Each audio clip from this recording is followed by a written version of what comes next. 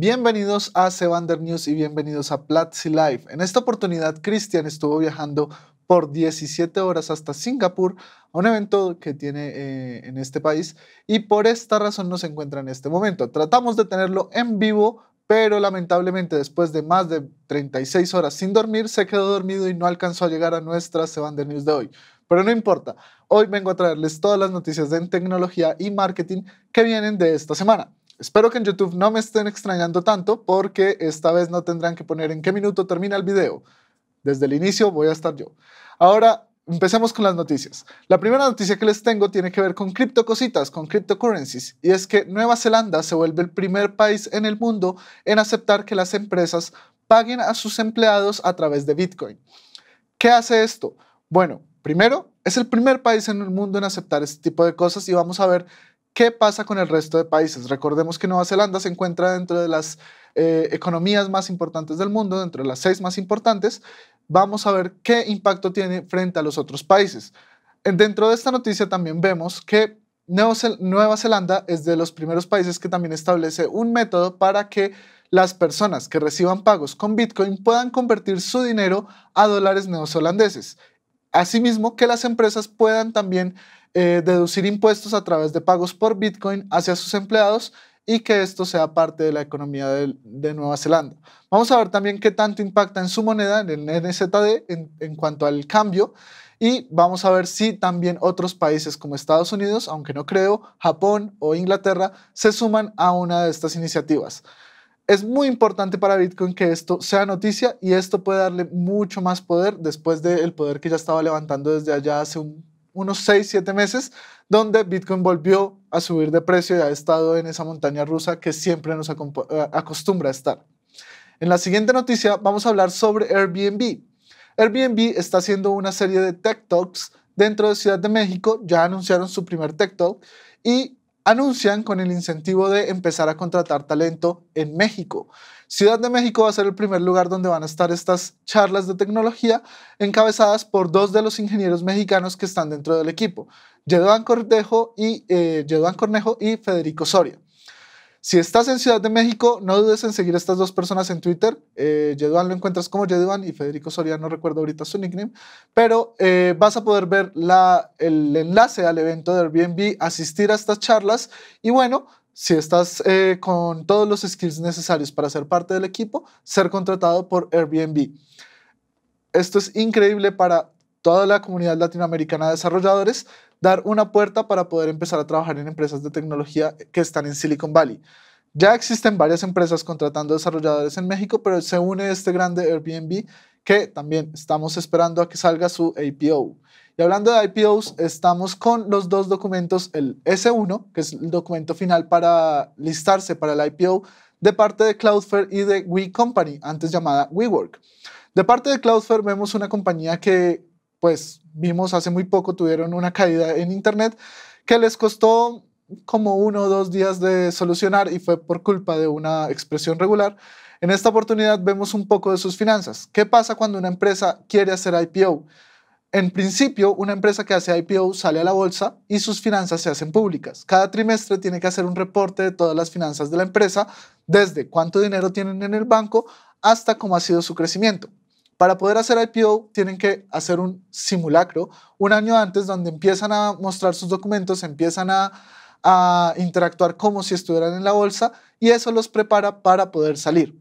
Tenemos los documentos de Cloudflare y tenemos los documentos de WeWork. Con Cloudflare vemos que fue una compañía que ha crecido bastante y ha decrecido sobre todo todos sus, eh, su quema de dinero o sus expenses. En principio, vemos desde junio de 2018 hasta junio de 2019 un crecimiento en ingresos de un 48% y una baja en el dinero que necesitan para operar en pérdidas, donde antes gastaban 36.8 millones de dólares a 32.5 eh, millones de dólares, lo cual es muy, muy bueno. Recordemos que Cloudflare es una compañía que ha levantado hasta ahora 332 millones de dólares de diferentes fondos de inversión como Franklin Templeton Investments, Union Square Ventures y va a estar operando en el New York Stock Exchange. Esperemos a que hagan oficialmente IPO y vamos a ver cómo les va en la bolsa de esta empresa que como lo mencionamos en Sevander News anteriores, pasan a ser de las primeras empresas de este tipo de servicios en hacer un IPO.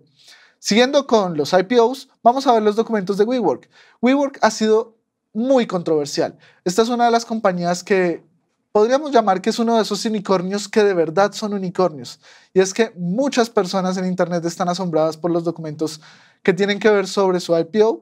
En específico hay una periodista que se llama Shaira Ovide de Bloomberg que hace un análisis muy específico frente a las finanzas de esta empresa y entre el análisis que hace se da cuenta que el dinero que gastan para que la, empresa opere y para que sus oficinas funcionen es casi el mismo que tienen de revenue por alquilar estos espacios.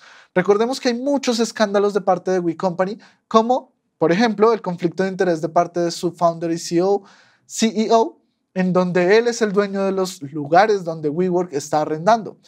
Según los documentos que estábamos viendo, son aproximadamente 250 millones de dólares que paga WeWork por, estar en las oficinas, por tener los, los edificios en donde opera. Muchos de los otros escándalos que salen dentro de estos archivos, eh, encontramos también varios bancos que han sido parte de rondas de inversión de WeWork para poder hacer posible su operación. Entre ellos, el más popular, SoftBank, es uno de los más grandes y principales inversionistas de WeWork, pero también hemos visto pérdidas muy grandes dentro de esta compañía. En 2016 tuvo unas pérdidas de 429 millones de dólares y solo tuvieron 436 millones en revenue. Es un margen muy, muy pequeñito de ganancias que puedan reinvertir o que puedan hacer que la empresa sea profitable o que esté funcionando como tal. Después, en el año siguiente, tuvieron un, incremento en pérdidas de 890 millones de dólares con 886 millones en revenue. Como ven, en esta ocasión tuvieron más pérdidas que revenue. Y después, en 2018, WeWork perdió 1.6 mil millones de dólares con un revenue de 1.8 mil millones de dólares, lo cual deja unos márgenes bastante, bastante apretados para que la empresa primero sea una empresa que funcione y segundo, que le vaya a ir bien en la bolsa. Vamos a ver qué pasa cuando We Company salga a la bolsa, cómo se comporta su acción y si esto no va a ser un problema, como ha sido el listing de Uber cuando salió al IPO, en donde hemos visto cuánto dinero pierde Uber al trimestre. Según lo último que vimos, llegan a perder cantidades abismales de dinero, tanto que hicieron que 400 personas fueran despedidas, como lo vimos en anteriores Evander News. Siguiendo con noticias, vamos a hablar sobre Spotify, quien abre su plataforma de podcast para que cualquier persona pueda empezar a subir un podcast dentro de Spotify. De hecho, Platzi tiene uno, ya desde hace un rato pueden buscarlo en, Platzi, en Spotify como Platzi y van a encontrar varias secciones. Lo importante de esta noticia es que llevaba ya la plataforma de podcast de Spotify eh, creada desde hace un buen rato, pero para poder subir un podcast ahí tenías que pasar por un proceso de revisión que la verdad era bastante lento. Eh, si querías hacerlo por otros caminos, tenías que usar ciertas aplicaciones que te permitían subir el contenido que tuvieras en SoundCloud o en otra plataforma de podcast dentro de Spotify. De hecho, existen muchas de estas herramientas que se encargan de distribuir el podcast desde una sola herramienta como SoundCloud hacia todos los proveedores.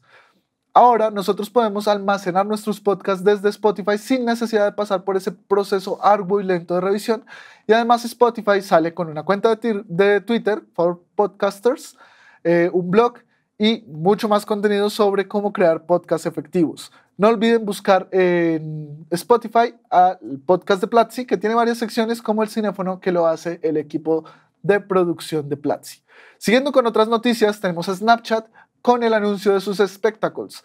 La verdad, ¿se acuerdan de las Spectacles? Eran estas gafas de sol que tenían una cámara en uno de sus lados, en uno de sus lentes, y te permitía generar contenido para Snapchat. Este contenido en específico era un video circular que dentro de la aplicación podías mover el teléfono y tener como un efecto curioso acerca del contenido que se estaba distribuyendo.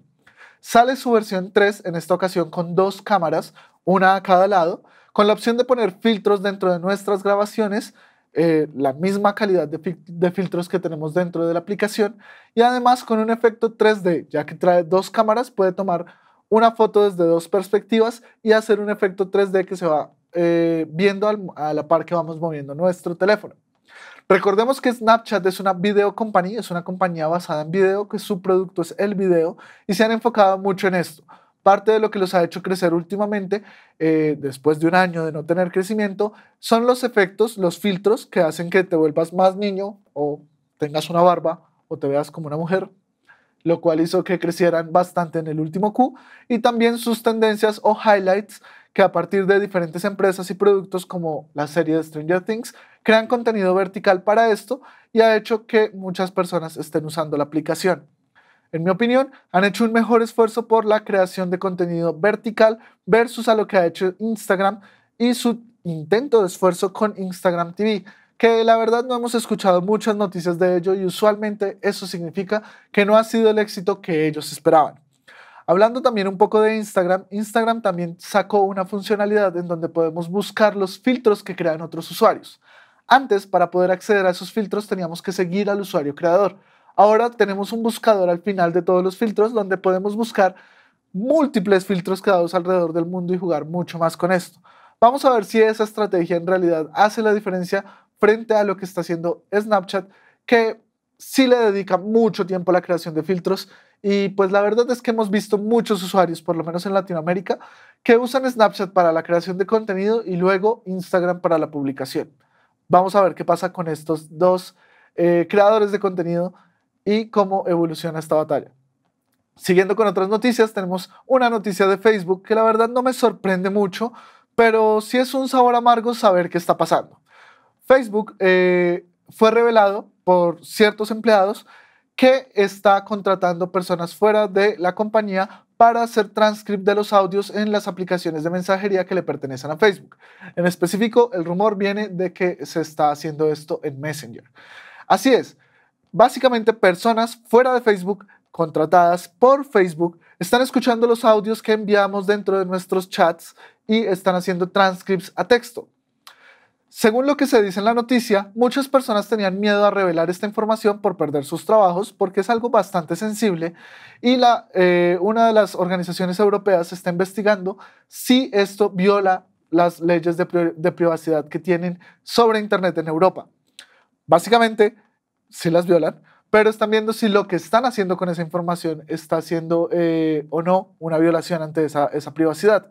Según Facebook, eh, lo estaban haciendo, pero ya lo dejamos de hacer hace una semana. La verdad esa respuesta no me parece tan buena.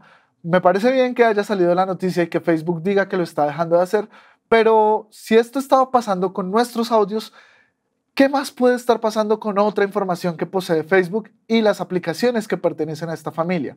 Cada vez descubrimos escándalos de privacidad de esta compañía y según ellos están haciendo un esfuerzo exhaustivo porque la privacidad se mantenga. Pero la verdad es que si siguen saliendo este tipo de cosas, es muy difícil creerle a Mark Zuckerberg que el esfuerzo que están haciendo es suficiente y que la información que nosotros como usuarios estamos dando en estas aplicaciones sea de nosotras y además sepamos qué está pasando con esta información.